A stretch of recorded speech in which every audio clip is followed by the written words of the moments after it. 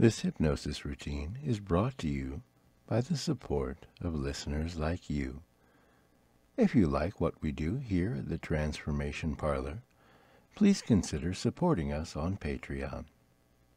Hello, my name is Oren Otter. This video is intended to use hypnosis to take you on a very special Halloween adventure. If you have any misgivings about hypnosis, I'd like to assure you that hypnosis is as safe as sleep. I can't make you do anything that you don't want to do. You'll be in charge of yourself the entire time. And if at any point you don't like what I'm doing, you're free to stop the routine right there. I'm going to be taking you into a state of very deep relaxation so I would like you to be either sitting or lying down in a position where your head is supported. I want you to be as comfortable as possible. So if you feel a need to move, to scratch an itch, shift your weight, or whatever, please feel free to do so. Now if you're ready, we'll begin. I would like you to start by focusing on your toes and making sure that each one of your toes is as relaxed as it can possibly be. Just go from the outer toe on your left foot all the way over to your big toe and then all the way over to the little toe on the other foot, just making sure that each toe is absolutely relaxed.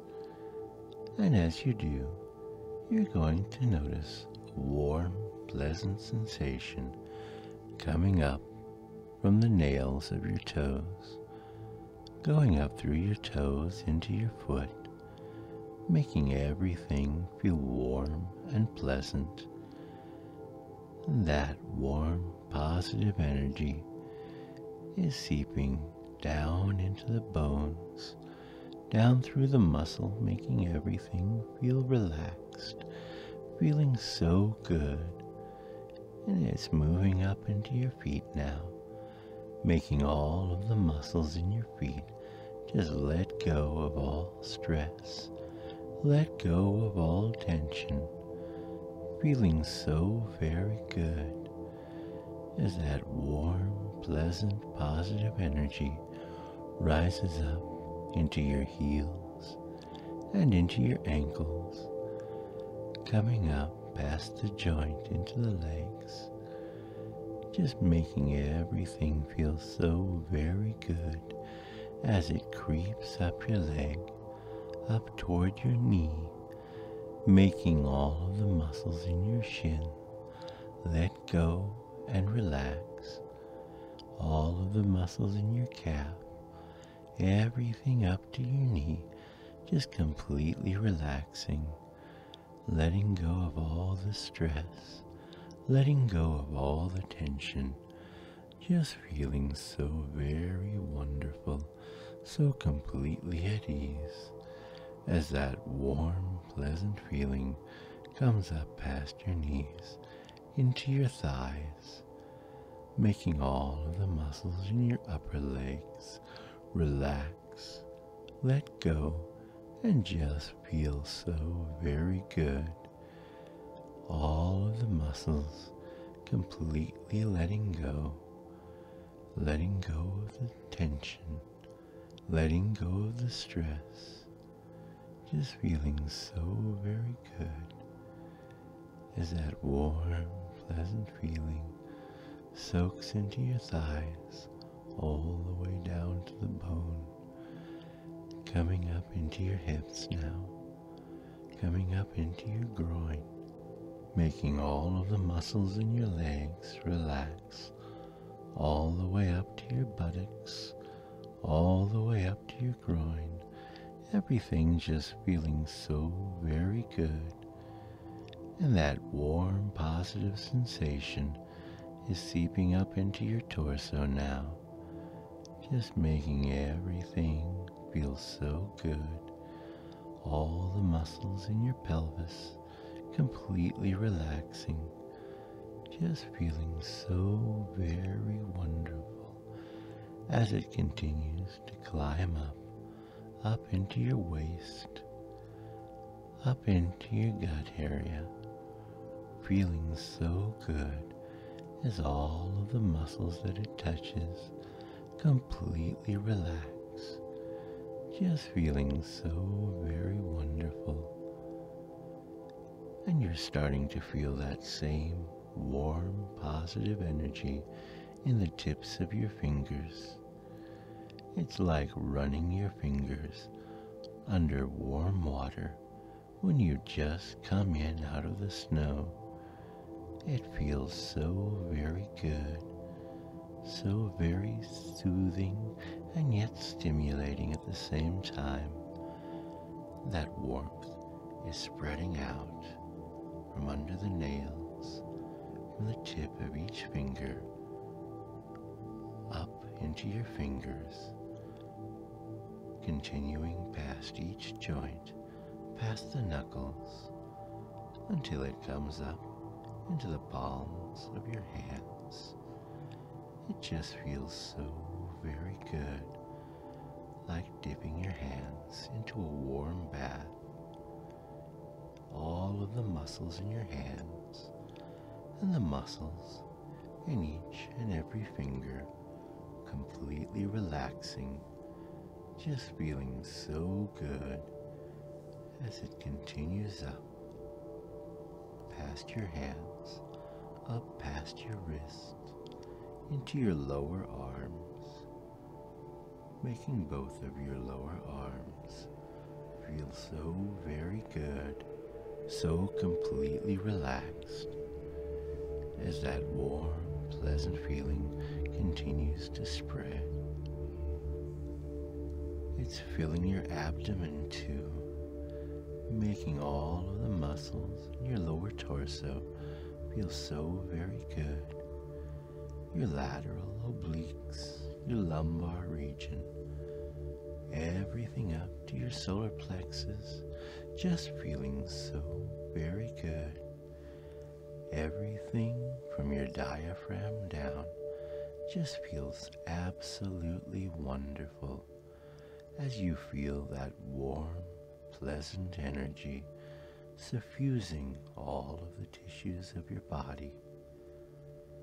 And you can feel that warm feeling continue to rise, rising up through your arms into your biceps and triceps, making all of the muscles feel so good and relaxed, coming up into your chest as well, filling your entire chest cavity, filling your lungs and your heart, your esophagus, your entire rib cage, just making everything feel so good. And you can feel those sensations joining up with the shoulders, making your shoulder joints feel so very good, so completely relaxed and that warm, pleasant sensation is coming up into your neck now, making everything feel so relaxed, so completely at ease, completely at peace, just feeling so very good. You're feeling so very wonderful as that pleasant energy continues to fill you coming up into your head now, relaxing your jaw, relaxing all of the muscles in your jaw, your chin, and up around your temples, making everything feel relaxed and at peace. All the muscles around your mouth, around your nose, just feeling so good and relaxed as that warm, pleasant energy continues to fill you, moving up through to the top of your head, relaxing all of the muscles around your eyes, making everything just feel delightful. As it continues upward, relaxing your eyebrows, relaxing your forehead, just making everything feel so wonderfully calm and peaceful as that warm, pleasant energy fills you all the way to the top of your head. All of the muscles in your body are feeling completely relaxed now, completely stress free, completely at peace. The only muscles doing any work now are the muscles that you're using to breathe. So go ahead and take a deep breath and notice how good it feels to take in lungful of oxygen and more of that warm, pleasant energy, breathing out all of the last little bits of stress and tension. And each time you breathe in, I'd like you to go ahead and open your eyes. And as you breathe out, go ahead and let your eyes close again. Breathing in more of that warm, positive energy. Opening your eyes with just a little bit more difficulty each time as it feels as if weights are being added to your eyelids. They're just getting a little bit heavier each time you open your eyes, and each time you breathe out, breathing out those last bits of tension, you'll find that your eyes close a little bit more easily. Breathing in, opening the eyes a little bit less each time, breathing out and closing them just a little bit more easily. Still feeling so very good as you just relax and listen to the sound of my voice, letting my words create your reality for you. It just feels so good to completely relax and listen to the sound of my voice. Breathing in, opening your eyes a little less, breathing out, closing them a little more easily and if you'd like to go ahead and just let your eyes close, you can go ahead and do that. Let your eyes close, let them lock shut, because it just feels too good to completely relax. Breathing in more of that warm, positive energy, and breathing out the last tiny particles of tension Everything just feels so good as you lay back and relax and listen to the sound of my voice. And if you'd like to try to open your eyes, you can try, but you'll find that your eyes are not going to open.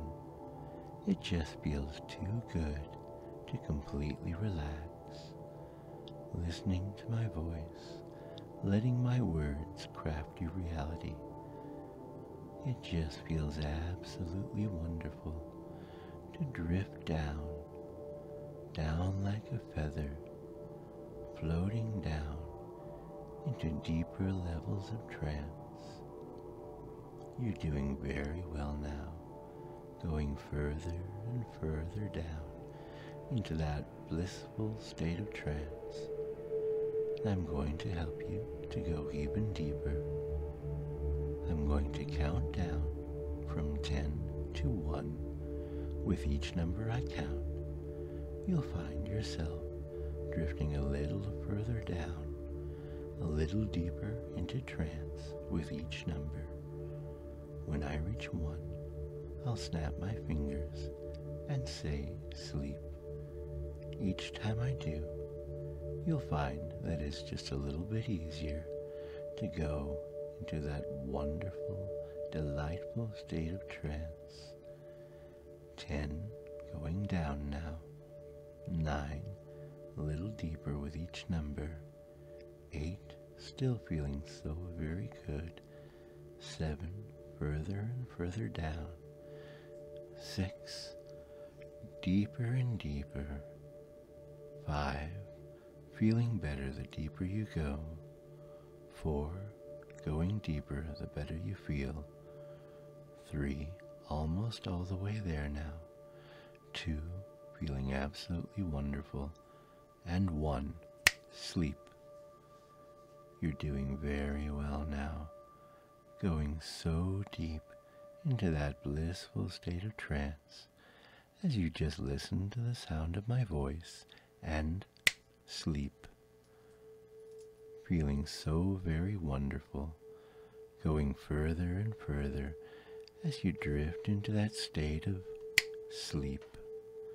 Feeling absolutely wonderful, going deeper and deeper down, drifting into that beautiful sleep that wonderful sleep, relaxing sleep, deep, deep sleep, so very deep sleep, deep sleep.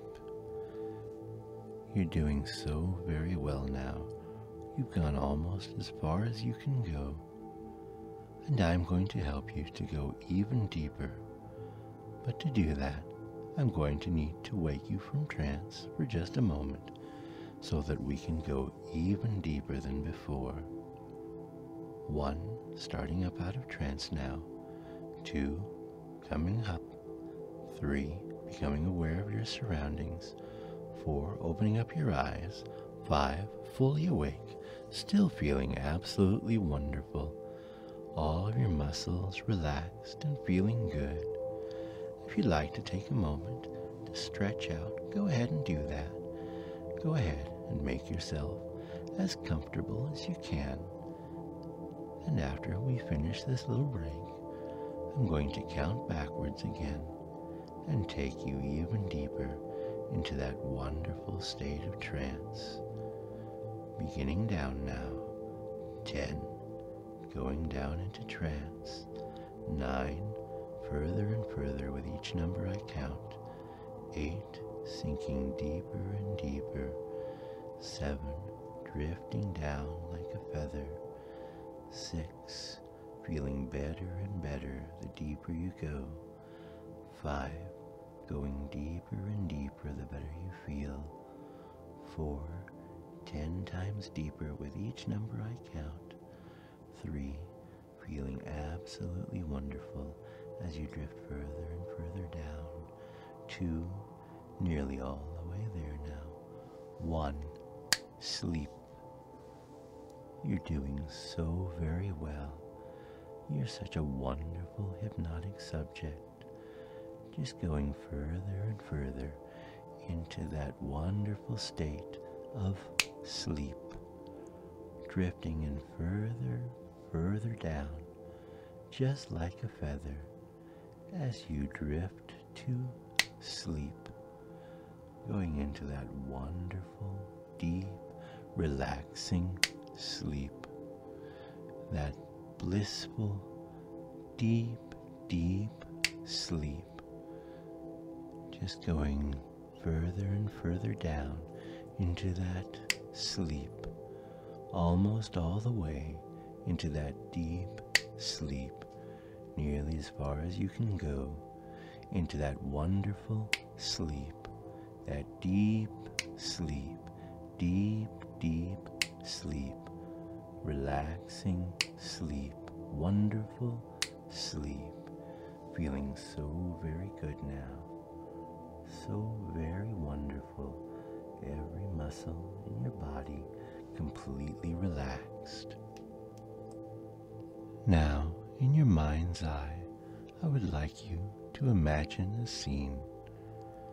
You're outdoors, and it's dark. The full moon shines bright light on everything around you. You're surrounded by trees and brush and wilderness. You don't remember how you got here but it feels good to be here. You can feel the moonlight shining on your skin. It feels warm and pleasant, and it's filling you with energy. It makes you feel strong healthy. You take in a deep breath of cool, crisp October air. It feels good. But as you stand there enjoying the forest night, you become aware of someone approaching. You can hear leaves crunching underfoot, and the one crunching them is getting closer and closer. You look down the path and see someone coming toward you. It's a very attractive young person of the opposite gender. If you're a boy, a cute girl, or if you're a girl, a handsome young boy. This person is wearing a bright red cape and hood, and on one arm there is a basket from which you can detect several delicious, enticing odors. You would like to know this person better, and so you speak, Hello. The traveler seems startled, but only for a moment, and replies, Hello. Who might you be? And why are you traveling in these dark, spooky woods so late at night? And the reply is, They call me Little Red Riding Hood, but you can call me Red, and I'm on my way to my grandma's house with a basket of goodies. Intriguing, you think. This seems strangely familiar somehow but not wanting to overthink the situation, you bid Red goodbye and go back to enjoying the feeling of the moonlight on your skin. But something odd begins to happen. The moonlight isn't just making you feel stronger, it's starting to change you. Where the moonlight is hitting your skin, you're beginning to sprout a soft gray fur. As the fur grows in, covering your body, your clothing begins to fade away. Your shoes and socks disappear, leaving you barefoot. That's closely followed by your shirt. One by one, your items of clothing disappear until all that's left is your underwear, and that too fades away to nothing, leaving you covered only in your own soft silver gray fur. Your fingernails are beginning to change. You can feel them tingling as they grow outward, becoming long and curved and pointed and hard. Your toenails are doing exactly the same, changing into canine claws. In your mouth, you can feel four of your teeth lengthening, becoming harder, longer, sharper, changing into canine fangs. Your nose is becoming cold, changing to leathery black skin. Your ears are growing upward, changing from round human ears into the triangular pointed ears of a wolf. A tiny nub extends from just above your buttocks, growing outward slowly, steadily, becoming filled with your tailbone, growing outward longer and longer, turning into a large, bushy tail. You can feel the skin on the tips of your fingers and the palms of your hands thickening, ballooning outward into large, tough paw pads. The same thing is happening to your feet. Your fingers are becoming shorter, stubbier, changing into the paws of a wolf. Your feet are doing the same, becoming the paws of a large gray wolf. Your heels rise off the ground, your feet becoming longer, thinner, your legs changing into the digitigrade legs of a wolf. Your face is stretching, your nose and mouth going forward, forming a muzzle that becomes longer and longer. Long, slender whiskers come out of each side of your upper lip. Your eyes are also changing, becoming more accustomed to the darkness of the forest. You are a beautiful specimen of a werewolf. But the changes don't end here. Your limbs are becoming thinner. Your arms and your legs becoming the limbs of a quadrupedal wolf. You fall onto all four paws, and your torso begins to transform. Your human shape melts away into the shape of a canine. You are now completely wolf, and it feels absolutely wonderful. The moonlight on your fur feels even better than it did before. It feels as if the moon is pouring life energy directly into your body. You feel as though you could run forever. Then a realization comes to you. The person that you just met was Little Red Riding Hood. You know that fairy tale.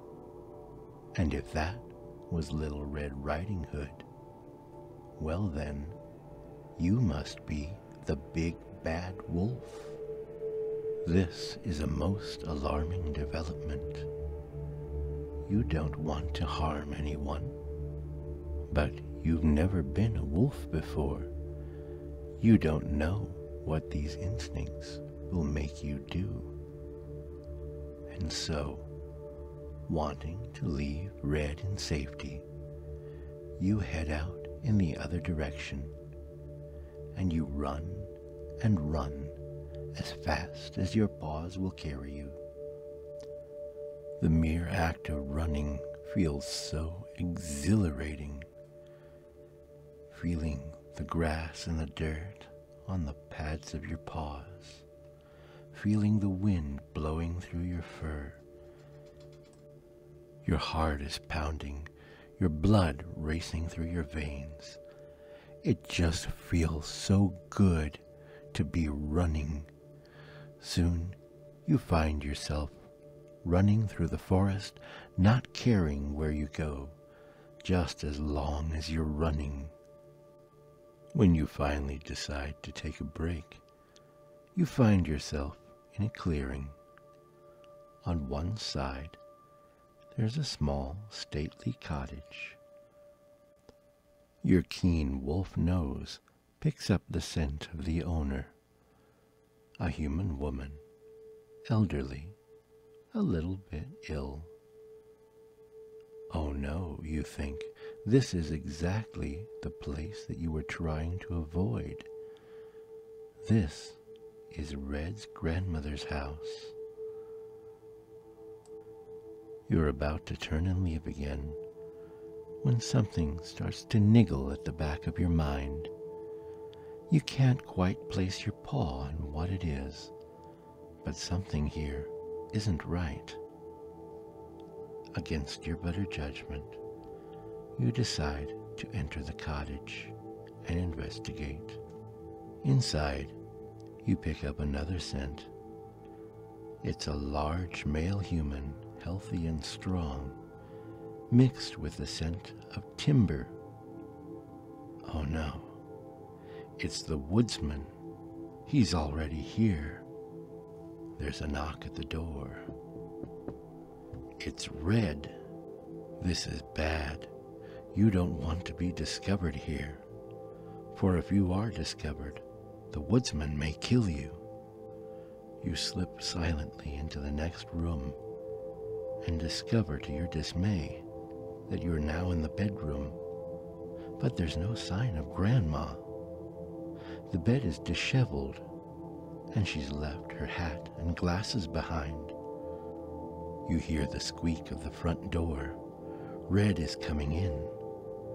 You don't want Red to find you here, and so you hide the only place you can think to hide underneath Grandma's covers. Grandma, calls Red, are you here?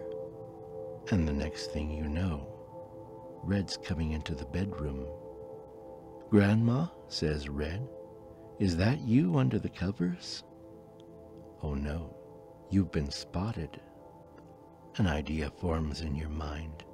It's crazy, but it just might work. Perhaps, with the room being as dark as it is, Red's poor human senses may be fooled. And so you quickly don the hat and the glasses and peek out from under the covers, revealing just enough of your face that she might be fooled. Grandma, she says, what big eyes you have. Nervously you reply, the better to see you with, my dear. This charade isn't working. Grandma, says Red, what big ears you have. The better to hear you with, you reply.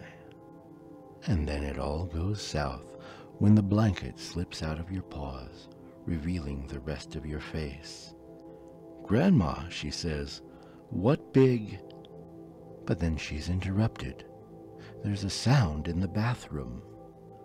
What was that? says Red, moving to investigate. I'll deal with you in a moment, says the youth.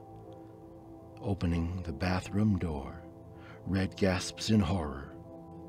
There before both of you is Red's grandmother, hog-tied, and standing over her, a lumberjack with his axe raised.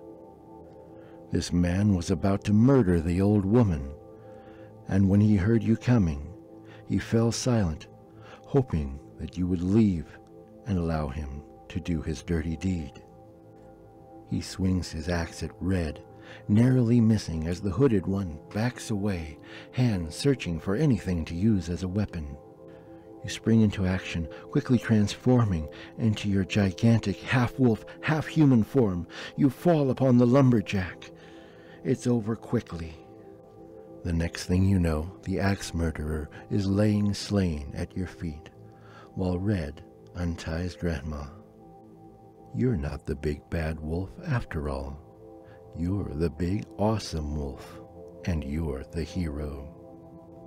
Grateful for the rescue, Grandma praises you and strokes your fur, while Red gives you a great big kiss right on the muzzle. As you turn to take your leave of your new friends and return to the forest, Grandma stops you.